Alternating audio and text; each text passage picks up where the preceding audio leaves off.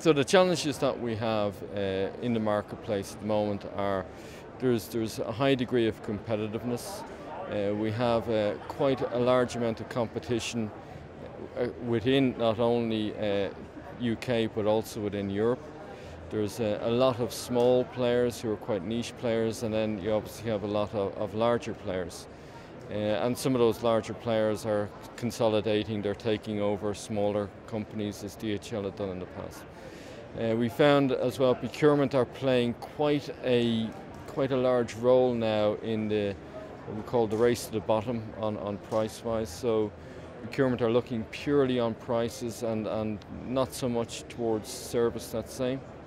They assume they're going to get the service, so they're effectively they're looking for champagne at, at beer prices, let's say.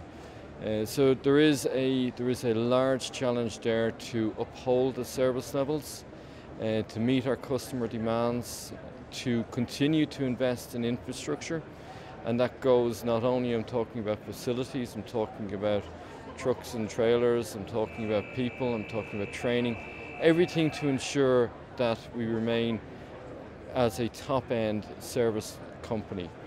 Uh, and obviously then you couple that with increased prices, it, it is a, quite a challenging environment to, to juggle those two.